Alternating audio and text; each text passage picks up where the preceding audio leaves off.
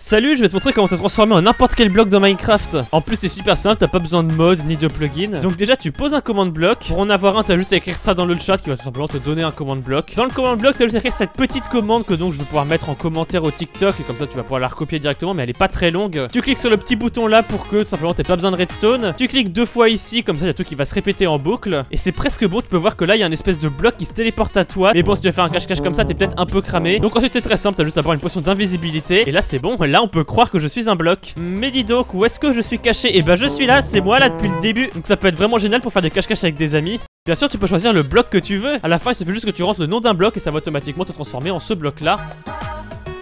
Si jamais les petits messages dans le chat te gênent un peu, t'as juste à écrire slash game rule command block output false et automatiquement ils vont se désactiver.